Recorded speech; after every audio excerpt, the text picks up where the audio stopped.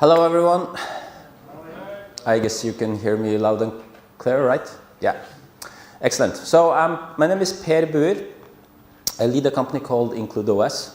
Uh, and Chris asked me to do a talk about uh, configuration and unikernels.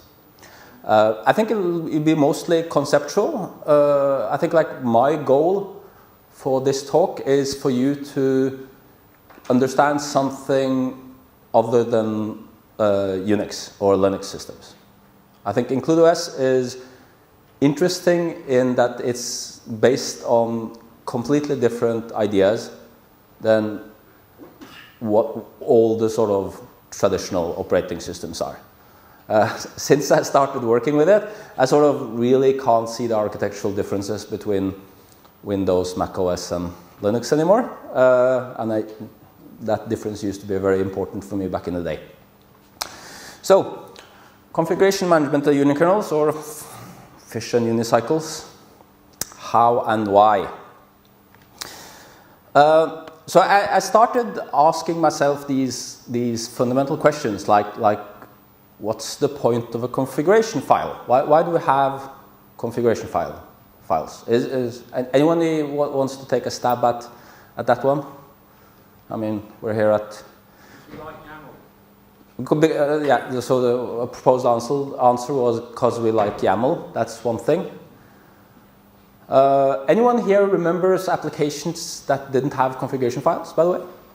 There was a, quite a few of them in the sort of early 90s that you would download and you would edit the source code and compile it and it would run. The actual, and that, I find that interesting that we have, those are completely gone and now everything has configuration files.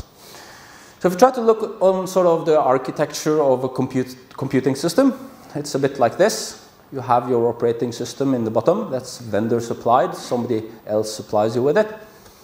You have your program code, your application, Postgres, whatever, and you put your local adaptations in the configuration file and it processes data. And the nice thing about sort of this approach is that your local adaptations, they persist across upgrades of both program code and operating system code. So that's nice. Yeah. Uh, why, how, how, how did we get to this sort of design that we currently have? Uh, so we can start, if you roll really, really far back and sort of look at systems how they were 60, 70 years ago. Um, it was punch card systems. Now I'm not old enough to sort of have used any of, of them myself, but I've, I've read a bit about them. Uh, with regards to operating systems, they were quite interesting because they were they were very very efficient systems. They were basically single task systems, so they only do one thing at a time. So let's say that you had some sort of compute need. You'd write a program. It would be written to these punch cards. You write data that would be written to these punch cards, and you get a time slot, maybe from like 3 a.m. to 4 a.m. in the morning if you're a student, that's what you likely would get, and your punch cards would be loaded into the computer. It would do the compute, and uh, it would uh, proceed to the next phase. It was very, very efficient. You had the whole computer at your disposal for that time. Uh, there were some other bad things about it, like the user experience of forgetting a semicolon on line 5 is really bad because the, the, it wasn't really agile.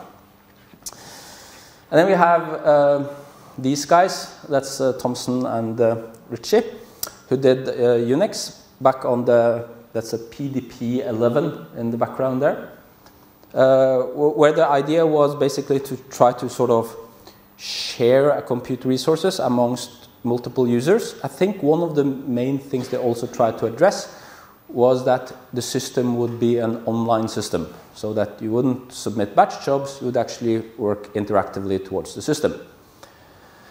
That means that you have to share that system amongst multiple users because these were, I think the starting price was, was $50,000, which was extremely cheap for a computer that was in its completely unusable, unusable uh, configuration. So the usable configuration was $100,000 and that was still considered very, very cheap.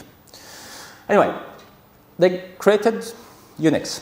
So first, and the interesting thing is, is when we try to look at sort of the way that it's configured, it was written as sort of third-party operating system. Now, so you have a blank computer, and you would boot that computer up and install the operating system on it. And you would then use that operating system on the computer to configure the computer. Now, that's usually the way I've always worked with almost all of the computers that I've worked with. Uh, the, the, one notable exception was at some point uh, uh, we bought a couple of mini machines. So that's AS400 or, yeah. Uh, and those actually had, the, the, the, interesting difference was they were not self managed. You actually had to buy a computer which sole task was to manage the other computer. Because you had separated the sort of admin plane from the actual compute stuff. Because what we have today, like all of our operating systems, they're self-modifiable operating system. The operating system itself can and does know how to manage itself. Uh, and that's, I think, I, think, I think that's, that's interesting because it doesn't necessarily have to be that way. Uh, because we could look at a sort of compute system that could potentially look something like this, where you have some sort of, of external administration plane that would then provision up these compute resources and they would run. And if you want to change stuff, you go through the admin plane and that is separate from the data plane or the compute plane if you want. Yeah, and there are some obvious advantages to doing it this way. I mean, like I think the two most most uh, uh, obvious ones are that this design in itself is quite secure. Because like uh, somebody attacking that system, like I don't know the stats, but I guess most of what people want is your network and compute power. That's why they attack you. Um, and they rely on remote execution bugs to sort of take control over a system, subvert it, and do your bidding. But if that system is unable to alter itself, that becomes really, really hard. Even if you have remote code execution, you can't really do anything with that system. The other bit is, of course, there's less need to ensure that the target system does what it's supposed to. There's no drift because the system itself can't initial, initialize change.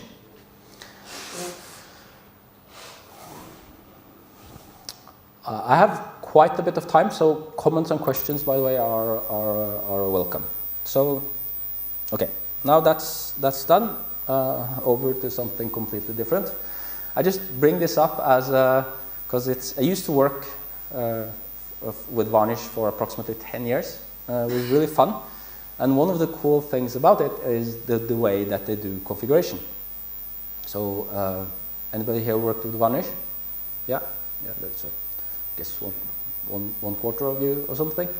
So the interesting thing about Varnish is the way that it deals with configuration. So instead of having a traditional configuration file that's some sort of YAML that we all love, or it has this, this built-in script that's basically when you configure it, that script gets transpiled on, uh, into C code. That C code gets then compiled into a shared object. That shared object is then executed. So every transaction Varnish does, it actually sort of runs that code through your configuration. Now that it, one of the things that's been really disappointing with working with Varnish for 10 years is that I really liked that design pattern. And nobody else cared. Seems to have, nobody else picked that up, uh, which I think is sad because I think it's, it, it made for, it gave us a lot of advantages. One thing, it was, it was really, really performant. It also made the code naturally uh, modular because we could add functionality and if you didn't invoke that functionality, it would have zero cost. So you wouldn't pay for what you didn't use, which I think is a great, uh, yeah,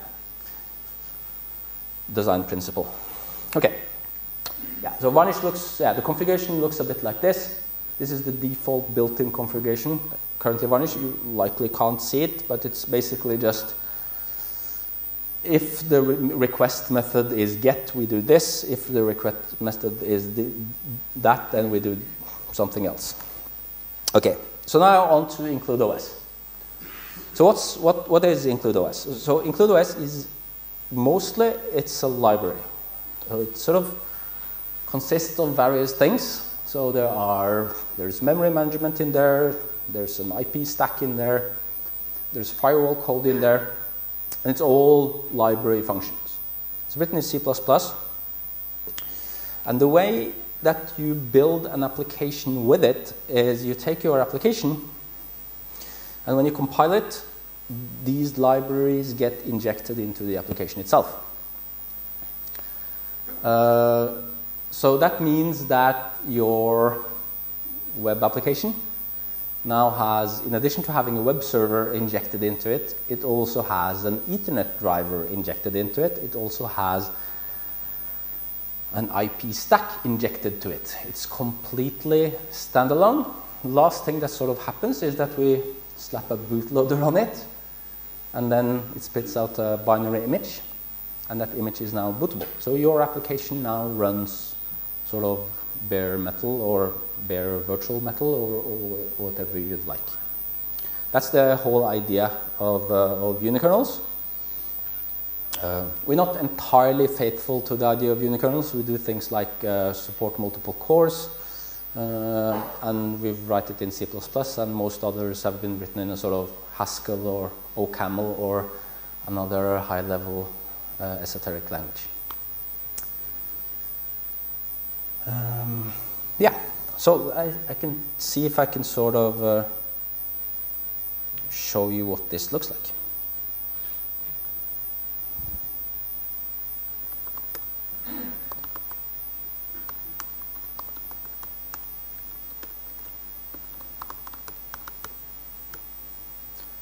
Um, yeah, so I'm just writing a simple uh, file with just a bit of uh, C in it.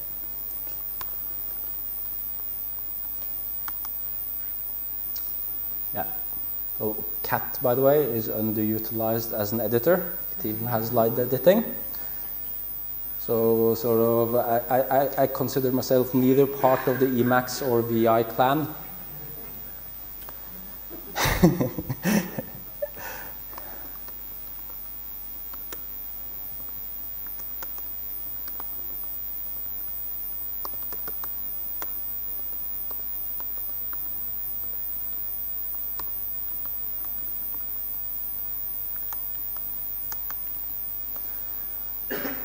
Yeah, so that's, that, this is the minimum, minimal include OS application.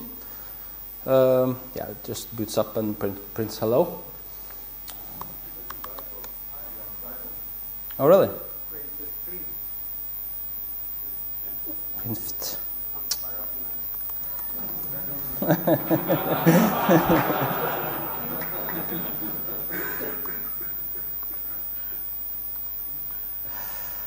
damn it. I've done this like 20 times now and I managed to get it right every single time. I know, I know, but uh, I don't have sed in my fingers the same way I have the editors. Okay, so now, yes, that's a good question. What it does is it compiles the operating system and fires up QEMU and boots up my application. So this is what include look, looks like. And at some point here, is basically the generic code stops running and my hello world runs. Yeah.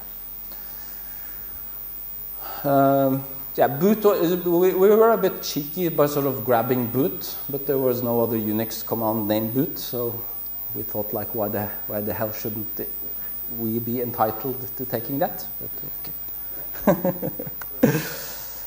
Okay, so this was a separate uh, virtual machine, by the way. Okay, so a, a bit more about what, what, actually happened now. Uh, so we have a bunch of libraries.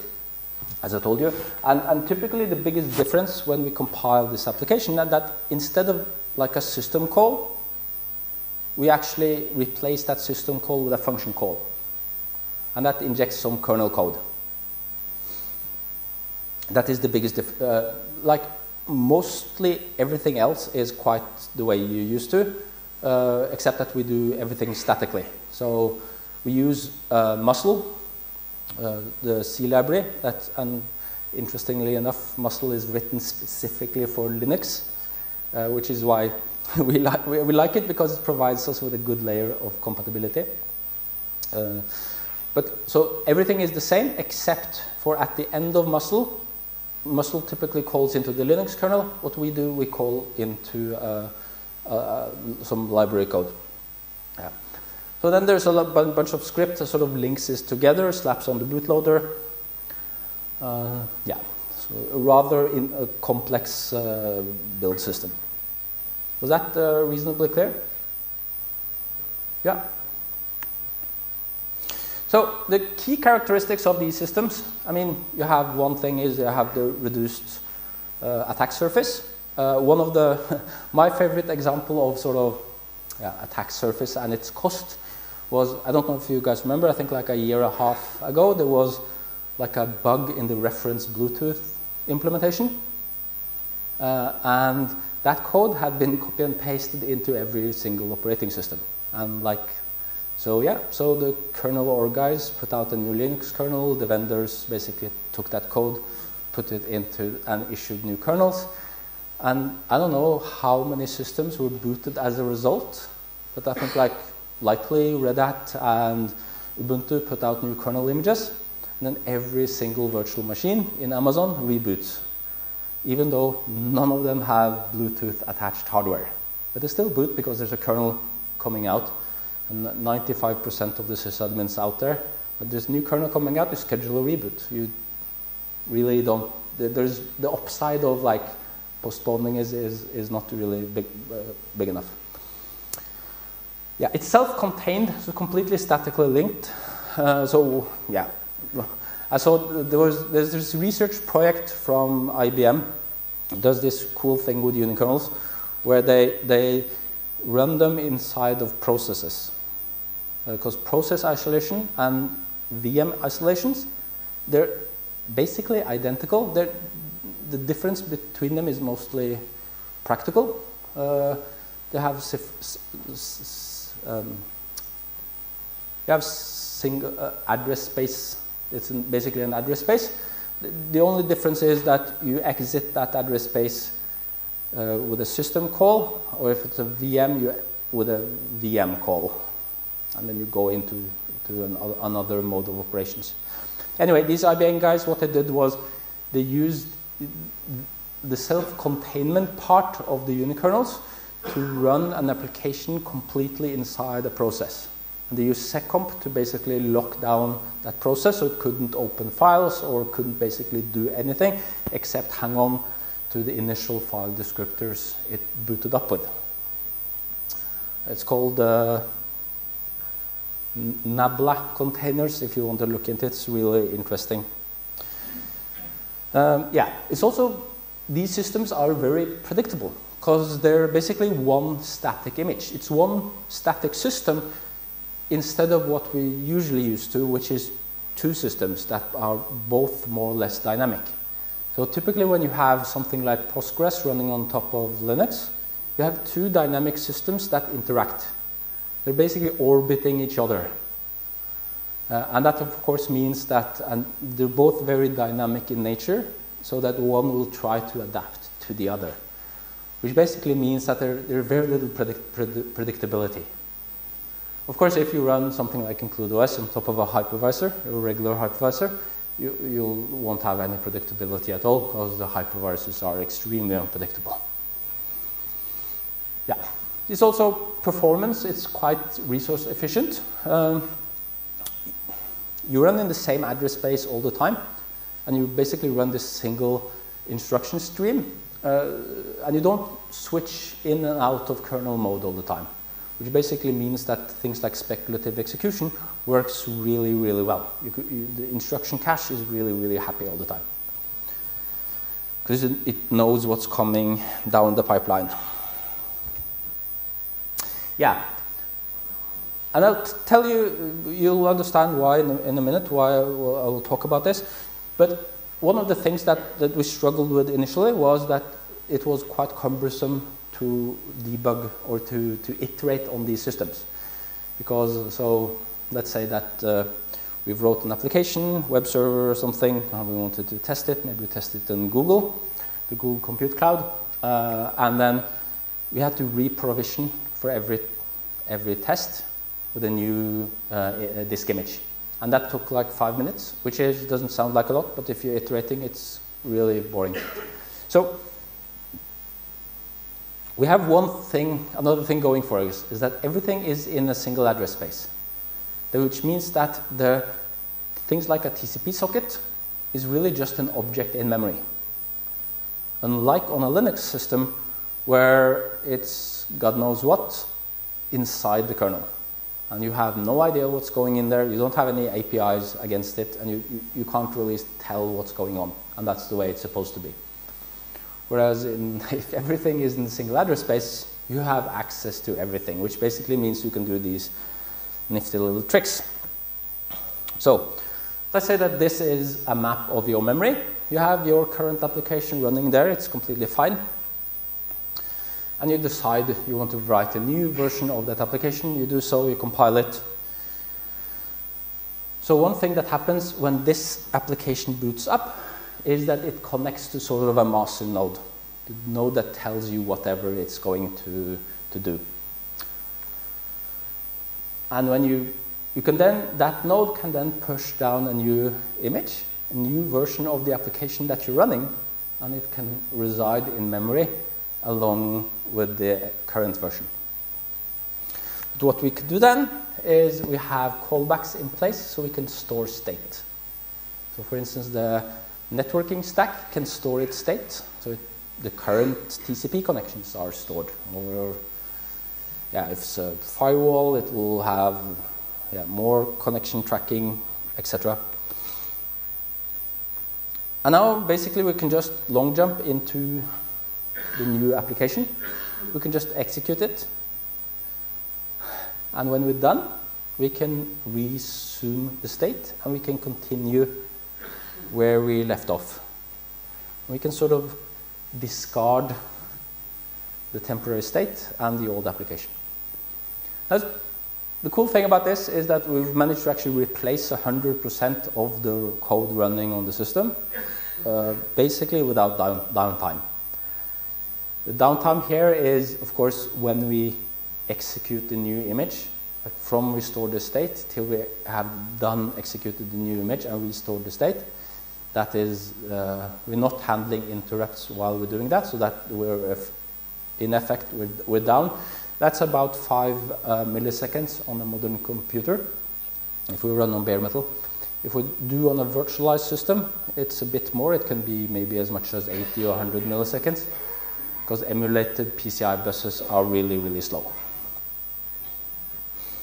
Yeah. Was that understandable? Yeah. It was, yes? What are you doing with any sort of cache that you have there, or you look caching? So the question was, what do we do with all the cache that we have there? Uh, we basically, so currently, we don't do I.O. intensive applications. Yeah. So like we don't have a page cache so, so but but uh, I can tell you, like most of the TCP buffers, we discard. We, we, we, we keep what we need to keep. So TCP gets a little kick in the head whenever we do this, and we'll stutter a bit, and there might be some retransmits and so on. So it's not completely smooth, but we do that in order to not have to save too much state. Yeah. Okay. So that's basically sort of the include OS primer. And now we sort of can see sort of the goal of that talk is to, to sort of talk about how we actually manage applications on top of this. So one thing that you noticed is that the operating system basically has to be rebuilt for each deployment, uh, which is fine because, as you remember from my Hello World example, it took like half a second to do so. That's because most of the operating system is already compiled. It's compiled ahead of time, so a bunch of static libraries that are basically just, so the only thing we need to do is link. But since we rebuild the whole operating system on each deployment, why do we need configuration files? Can we deal with it, maybe have tried to have not to have configuration files? So we did try that. So we created something called NACL. It's not a configuration language. NACL is a bit overloaded as a name, I know that, but uh, okay. It's basically a, a domain-specific language for network appliances. Uh, it's not Turing complete. It doesn't have loops. Uh, so it, we know that it, we're reasonably sure that execution will finish once we start, because that means that we don't have a sort of security layer beneath it. So if there's an endless loop, we don't really know how to get out of it, because the operating system itself doesn't know how to interrupt itself. Yeah, and as with VCL, we transpile this into C++. We compile it and link it into the application itself. Oh, yeah. So let's look at what, what, what this actually sort of, what does this looks, what does this, what it looks like. So, yeah. So there, there's this, this is basically a firewall uh, so it has a couple of uh, interfaces. One is called outside, the other one is called inside. The index there is basically where it resides on the PCI bus. Uh, so for the, the, recommendation there is to use the MAC address to identify it, uh, as it's a bit more reliable than, than the index. Uh, and there's a router object. yeah, it's a matter of opinion or not whether that should be automatically created. We currently believe that it should not be automatically created. It could be created because most of the information there is derived from the interface definitions. Uh, but then again, you, you, don't want systems to route unless you're really certain that they're going to route, so that's why we have it manually.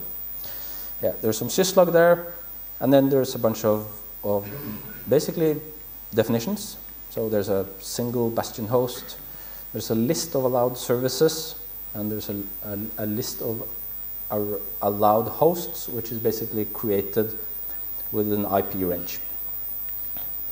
And then we start doing rules, and the rules basically, semantics are more or less completely stolen from IP tables, except the, the syntax is completely different.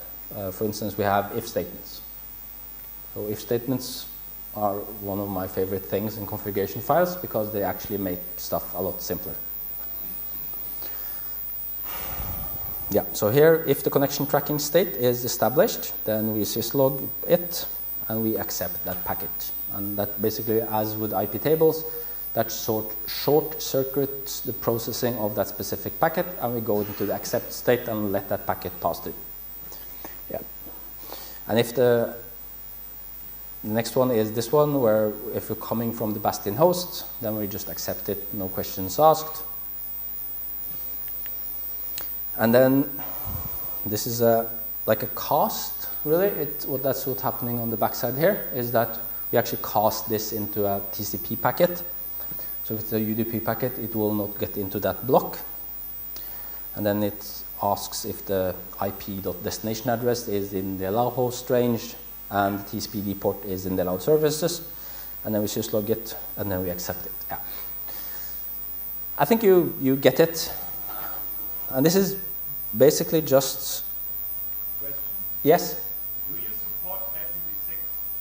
Um, so we merged IPv6 into a dev branch on Tuesday last week.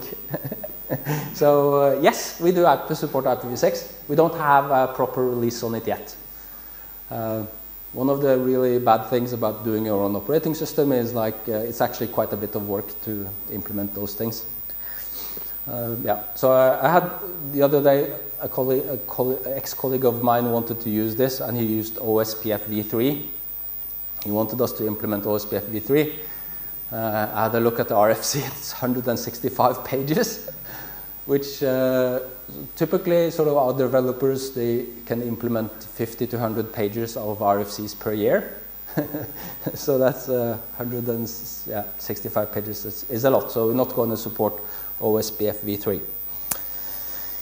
Anyway, yeah. So basically just we just use the same as before to compile it, and then we can basically just run it. It's a firewall, so I'm not really going to demonstrate how it works because I think it just oh, oh yeah yeah it booted up and now it has these firewall rules and I could create a system with virtual machines and telnet and then telnet would stop working because I put a firewall rule in place but yeah you can just imagine that in your heads and we will just move along.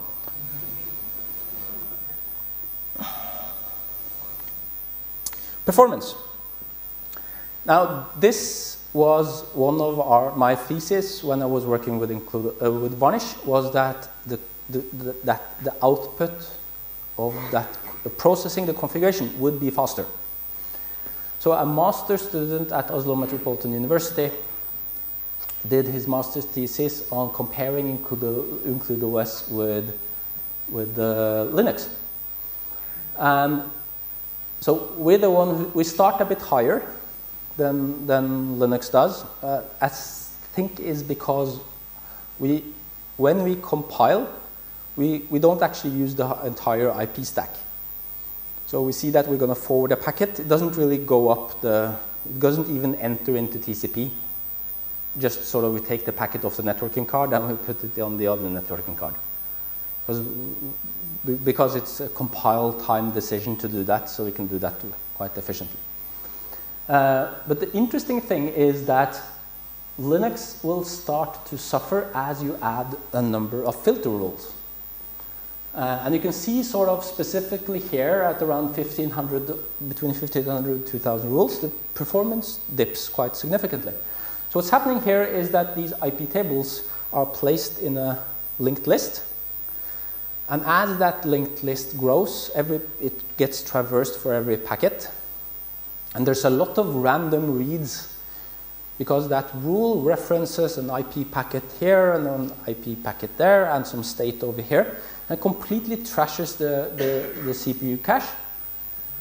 And also the list itself, I think, doesn't fit into the level 1 cache at this point, and that's why sort of performance drops down.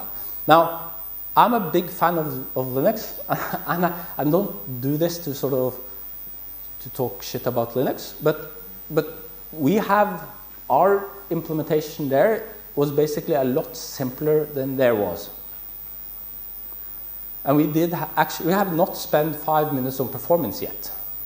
Uh, and, and we do, and it's basically because the compiler really likes what we do and the CPU really likes what we do.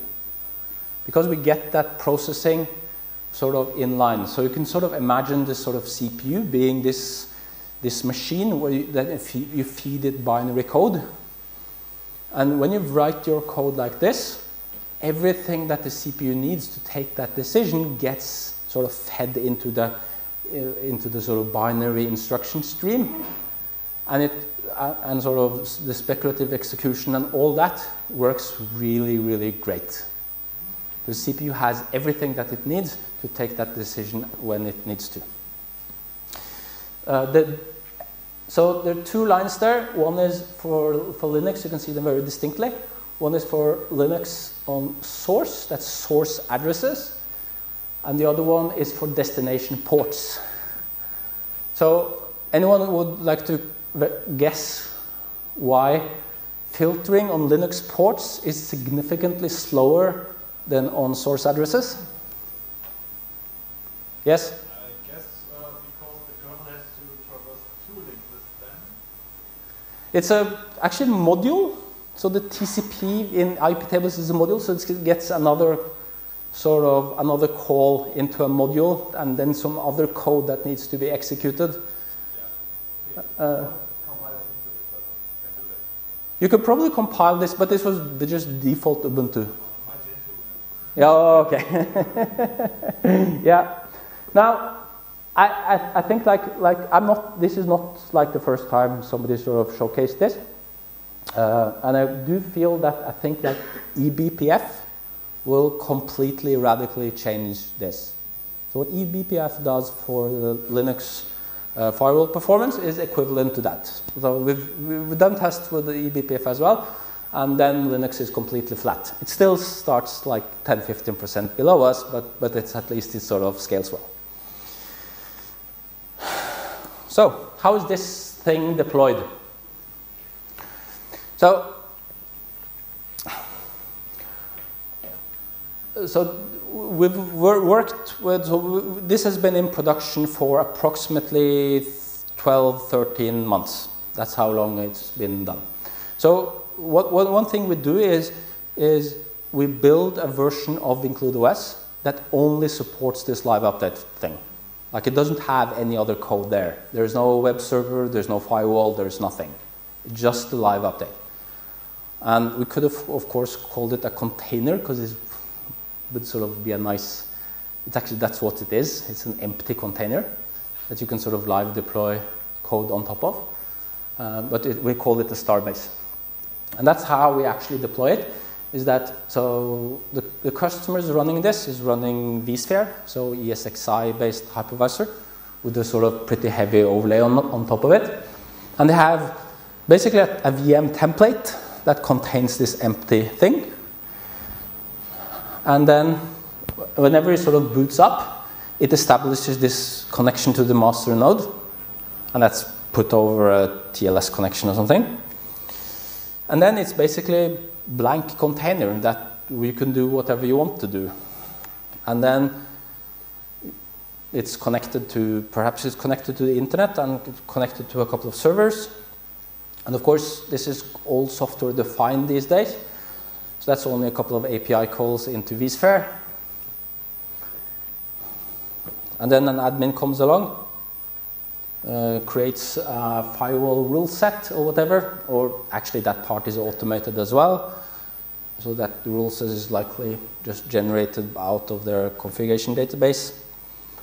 An image is built and is put, use that function, the live update functionality, and it sort of magically turn that system into a firewall.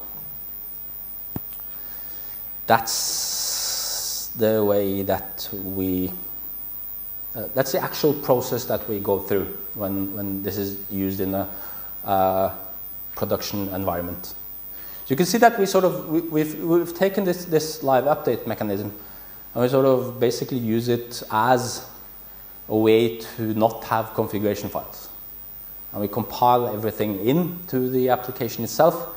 And since, yeah, we haven't still seen the need for configuration files, except that when we do uh, existing applications. Yeah, there are a few differences, like how do you deal with the operating system crash? Uh, that was really interesting. What we figured out is that I think all the, none of the hypervisors care to clear a memory when you crash. So what we do is we have a hook that gets run whenever we're in real trouble and the CPU generates an exception. And we log what we think has happened into memory. And then we reboot the system. And when we come back up again, we go and look at the specific place in memory. And there's a crash report. It's actually really nice. Uh, it's a lot simpler than, than bare metal uh, kernel development used to be in the uh, 90s. Uh, GDB as well is you should it's available. Like if you're running on any sort of QEMU based system, QEMU has a built-in GDB support, so you can actually run the debugger inside of that application, and you can single step and do whatever it is that you're used to doing. You can also then step into the kernel side of things. So you, because typically you will just see the syscall, but here you can actually continue down into the kernel as, as well. We are considering making a GDB stub as a plugin so that you can plug it into other applications as well so you don't have to rely on, on QEMU's uh, GDB. Security, I think it's a bit of a guess, but security is, I think is pretty, pretty good. The system is unable to modify itself. Uh, so we had uh, security teams try to attack it, previous versions of IncludeOS that were pretty shitty with regards to security. It was really, really hard. Even if they, they found remote code execution, they couldn't really execute remote code on it because, like, like, there's no system call. So where is the write call, or where is the read call, or, or all of that, all of all, all of that data is hidden behind 64 bits pointers. So, yeah, attacks, at, it seems to be pretty hard to attack it. Profilers and tracers. Uh, so, one of the nice things is if you recompile the operating system all the time, tracing is trivial. Like the, the reason why sort of dtrace is such an amazing piece of engineering is that it doesn't require to recompile the kernel in order to enable the trace because it uses this, these potential probes that are in there. But when you recompile the kernel all the time, or when you recompile the whole system all the time, actually having that trace be there is, is rather trivial. Yeah. There's also a, built-in profiler which just uses a stack sampler. So basically 100 times a second it'll kick off an interrupt, see what's on the stack, write it down, and then resume uh, ex execution, and that will give you a statistic view on, on what's going on. And again, I mean, like, like the eBPF is one of the coolest pieces of engineering to enter the Linux kernel over the last couple of years. But again, it's really cool, but you don't really need it if you're going to recompile all the time. Uh, performance? Yeah, you get really great performance without much effort. Uh, like it says these indirections and things like that that screw up performance. Uh, and if you sort of do what we do, then you, you get really excellent performance without much effort. And relying on the compiler, the compiler helps us a lot. Like we turn, we, I think we're in the phase of turning on LTO, which is link time optimization. And so far we've seen uh, 10 to 30% uh, speed up which is great, which would take us years to do that kind of, uh, add that kind of performance. I mean, it's not all roses. the effort of writing and maintaining your own operating system is pretty significant. Uh, but the application effort is a lot less than actually uh, we expected. So the person who wrote the firewall, from start to finish, spent three months on writing that firewall. Uh, and she has not done firewall code before, or that not really that much sort of kernel code, and she did it in three months. Uh, yeah, so I, I, mean, you get a lot of for free if you have a pretty decent design. Uh, and I think I can do questions now, if you have any.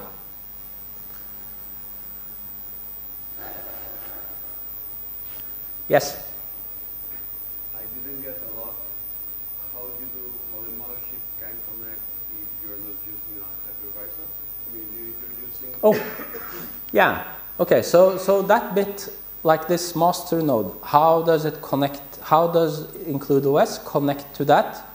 And where is, does the hypervisor come into play? So we typically don't, we don't see the hypervisor, just as with a regular Linux-based system. Hypervisor is there it helps provision new computers. But IncludeOS does not know if you're running on a virtual system or a hypervisor system. Like we use VTD, uh, so hardware-based virtualization, and we can't really tell that we're running on, on it. Just that with, as with, as, as you, you, you know, uh, it's a lot simpler to create a computer on a system with a hypervisor than on without one because you don't have to rack a new server. Yeah, any other questions? Is it possible to write applications in a language different than C++? Yeah. Uh, so question question was: Is it possible to write uh, applications in languages other than C++? Absolutely. Uh, so that's so. The closest thing would be C. Uh, so, but C relies on POSIX, uh, and our POSIX support is there, but it's a bit minimalistic. So I would say currently we're in the state where most libraries compile, but whereas most applications don't. And some of them will never compile because they do things like fork, and we're never gonna do fork. Uh, we might do threads, but uh, yeah. Uh, so that so C is I think within reach. Uh, then, but like everything isn't written in C and C++. So what's next? So we did we have ported two uh, small language runtimes. So one was Lua, which took one day, and then we did MicroPython, which took half a day. Uh, but that was uh, without connecting the networking stack. But it seems to be quite simple. And once we have decent enough uh, POSIX support, I think we'll do Node. And if we can do Node, we can likely do WebAssembly, and then basically I think we'll have most stuff. But we, we're waiting for WebAssembly to figure out the host definition, the interface between the WebAssembly VM and the host, because that's currently undefined uh, outside of a browser.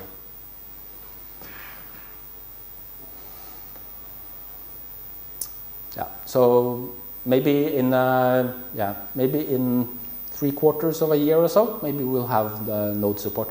We, we, we, also got money last year to port to ARM from the EU. So the idea is to to to run on the Raspberry Pi. Uh, yeah, I think that'll be interesting because of its. It will have a predictable uh, uh, platform, so we can do real-time stuff and such like that. Yes. Any other questions? If you're interested, if you want to come down and have a chat, I'll be very happy to do that. Uh, if not, you can sort of reach out to me on Twitter. Uh, if you have views or you, you just want to talk more about this, I'm really happy to take your call. Okay, so thank you very much for listening to me.